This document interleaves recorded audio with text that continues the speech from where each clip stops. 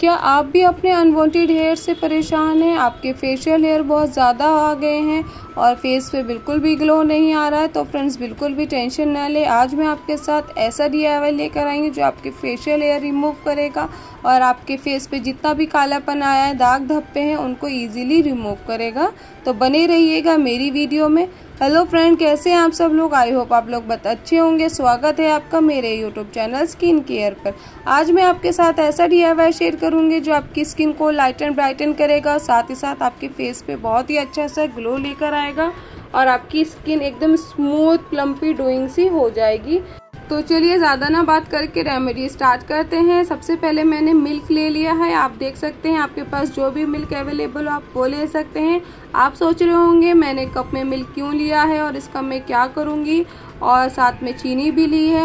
यानी कि दूध और चीनी को देख करके आपको यही लग रहा होगा कि मैं आज क्या चाय बनाने वाली हूँ। चाय से कोई रेमेडी बनाऊँगी तो नहीं फ्रेंड्स मैं दूध और चीनी से ऐसा डी फेस पैक बनाऊँगी जो आपकी स्किन को लाइटन ब्राइटन करेगा और आपके फेशियल हेयर को भी इजीली रिमूव करेगा। तो आप देख सकते हैं सबसे पहले मैंने आधा कप से ज़्यादा दूध लिया है और उसको एक पैन में अच्छे से बॉईल कर लूँगी और साथ में इसमें शुगर डालूँगी। एक से डेढ़ चम्मच मैंने इसमें शुगर ऐड करी है और इसको अच्छे से बॉईल करूँगी।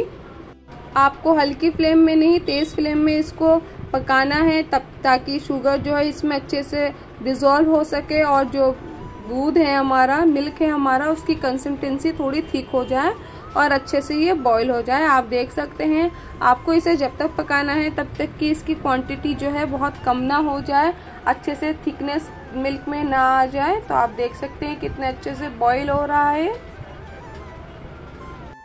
तो आप देख सकते हैं आपको फ्रेंड्स इसी तरीके से इसे चलाते जाना है और अच्छे से बॉईल कर लेना है।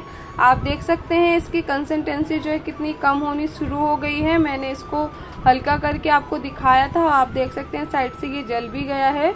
तो मैंने इसका दूध जो है सारा अच्छे से गर्म कर लिया है और आप इसकी क्वांटिटी देख सकते हैं फ्रेंड्स। उसी कप में मैंने कितना दूध लिया था और कितना ये बचा है। तो फ्रेंड्स नेक्स्ट मैं इसमें ऐड करने वाली हूँ टर्मरिक जी हाँ फ्रेंड्स, मैंने इसमें टर्मरिक ऐड करी है और फ्रेंड्स ये मैंने किचन वाली ही टर्मरिक ऐड की है। आप चाहें तो आपके पास वाइट टर्मरिक हो तो आप वो भी ऐड कर सकते हैं। मेरे पास नहीं थी तो मैंने किचन की ही हल्दी इसमें इस्तेमाल करी है। हल्दी हमारी स्किन के लिए बहुत फ़ायदा करती है और एंटीबायोटिक होती है। हमारे फेस पे बहुत अच्छा सा ग्लो लेकर आती है और बहुत ही अच्छा वर्क करती है। फ्रेंड्स आपको दूध को बिल्कुल भी ठंडा नहीं करना है। आपको इसमें नेक्स्ट ऐड करना है ग्राम फ्लोर, यानी कि बेसन।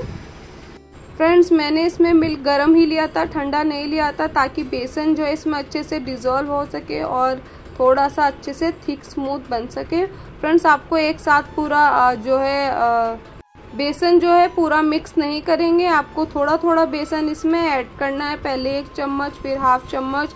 इसी तरीके से आप इसको इतने स्मूथ सा पेस्ट बना लेंगे, उसके अकॉर्डिंग आप एक से दो चम्मच इसमें डाल सकते हैं। आप देख सकते हैं मैंने इसमें डेढ़ चम्मच बेसन ऐड किया है और मैं अच्छे से इसको मिक्स कर लूँगी।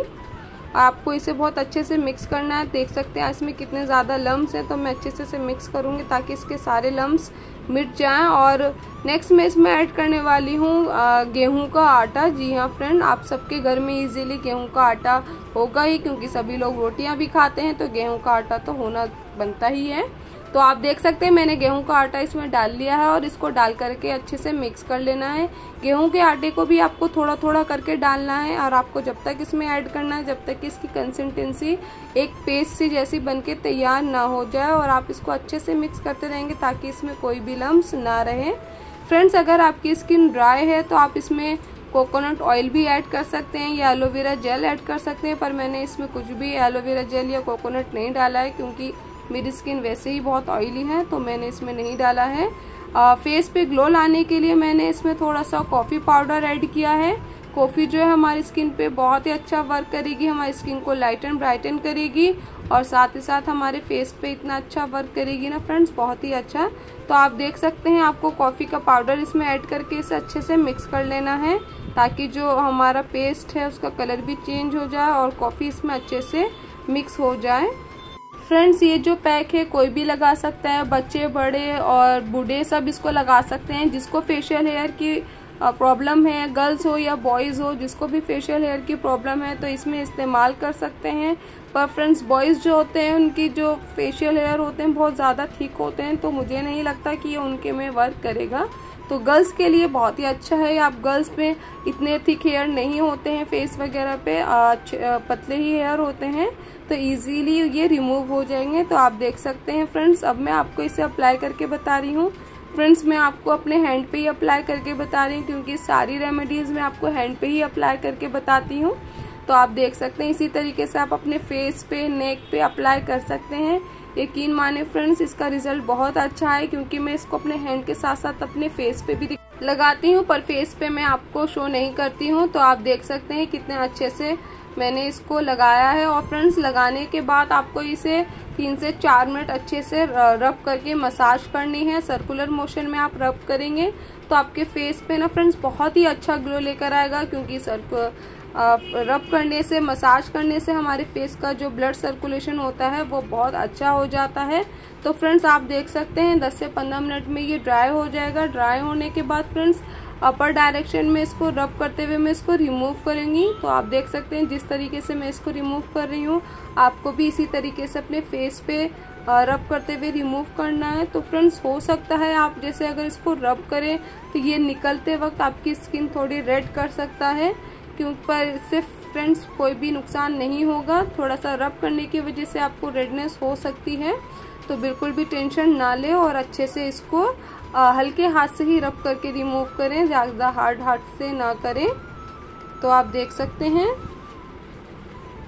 फ्रेंड्स आप देख सकते हैं मैंने इसको अपने हैंड पे से अच्छे से रिमूव कर लिया है। ये बहुत ज़्यादा चिपचिपा हो रहा था तो मैं फ्रेंड्स मैंने दिया हुआ पैक तो लगा लिया है और उसको रिमूव भी कर दिया है। अब मैं आपको बताऊँगी कि ऐसी चीज़ लगाऊँगी जिससे आपके जो हेयर रूट्स हैं वो निकलना बंद ही हो जाए। कितना अच्छा होगा ना तो आपके जो फेशियल हेयर रिमूव हुए हैं या आपके फेस पे ओपन पोर्स की प्रॉब्लम हो गई है तो इससे फ्रेंड्स ये है एलम यानी फिटकरी फिटकरी को पानी में भिगो के आप अपने फेशियल हेयर जहाँ से रिमूव किए हैं, आप वहाँ पे इसको लगा करके अच्छे से रब कर सकते हैं। फ्रेंड्स अगर आप इसको रब नहीं करेंगे तो इसका पाउडर बना करके इसमें कोकोनट ऑयल डाल करके या फिर पानी में इसको ऐसे ही डाल करके इसका पानी भी आप लगा सकते हैं। इतना ही अच्छा ये वर्क करेगा।